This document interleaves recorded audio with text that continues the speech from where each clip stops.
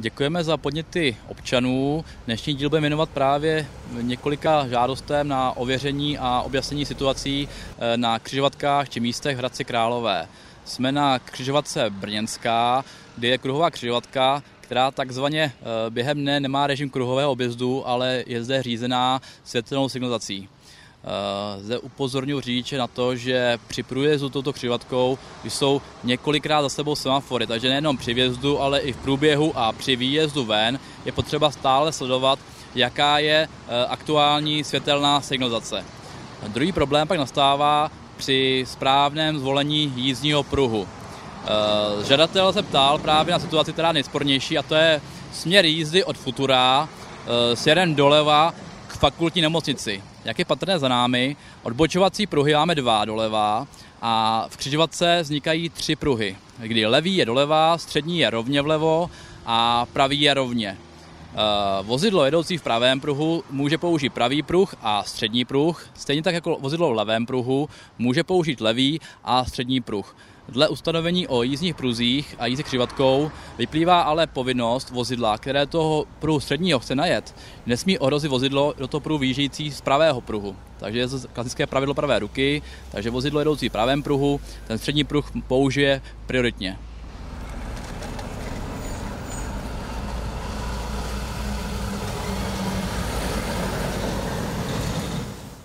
Další dotaz směřoval na pravidla pro jízdu kruhovým objezdem. Eh, tyto pravidla samozřejmě řidiči znají léta letoucí, ale v roce 2006 došlo ke změně legislativy. Eh, dřív platilo to, že vozidlo jedoucí po kruhové křivace má přednost. Eh, v roce 2006 se změnilo ustanovení a je tam doplněná větička, že při příjezdu je značka umístěna kruhový objezd a značka Day při jízdě, pak platí ustanovení o tom, že vozidlo jedoucí po kruhovém objezdu má přednost. Tím pádem znamená to, že kdyby náhodou vlivem vandalství a podobně nehodou zmizela značka opravující přednost jízdě, tak na krovém křižovatce se najednou stává křižovatka bez značek a přednost je upravená eh, pravidlem pravé ruky. To má vozidlo jedoucí zprava má přednost, tím pádem vozidla, která přijíždějí do kruhové křižovatky, jsou přednosti. Tazatel právě měl dotaz o konkrétní křivatku vajíčko, kterou vidíme za námi a zde samozřejmě to je to pořádku. Při příjezdu je značka umístěná, kde je eh, povinnost dát přednost jízdě. Vozidlo jedoucí po kruhové křivatce samozřejmě řidič má znát ustanovení pravidel, kde říká, že vozidlo má přednost, jeho vozidlo má přednost a vidí zároveň z těch příjezdů eh, zadní stranu těch trouhelníků značky dej přednost jízdě. Takže má být bez obav a jede po kruhové křižovatce a je ten, co má přednost. Stojíme na křižovatce Zborovská a výjezdem od záchranné služby.